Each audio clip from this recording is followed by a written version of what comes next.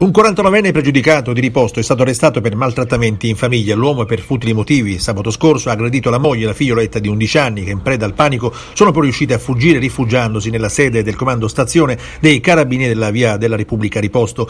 Qui intorno alle 22.30 di sabato sono state poi soccorse dai militari dell'arma che hanno raccolto la testimonianza delle due vittime nel frattempo accompagnate presso la locale guardia medica. Entrambi hanno riportato contusioni guaribili in sette giorni. I carabinieri hanno quindi avviato le ricerche dell'aggressore rintracciandolo poco più tardi è stato arrestato e tradotto nel carcere di Piazza Lanza a Catania con l'accusa di maltrattamenti, vessazioni che, secondo i carabinieri, andavano avanti da qualche anno.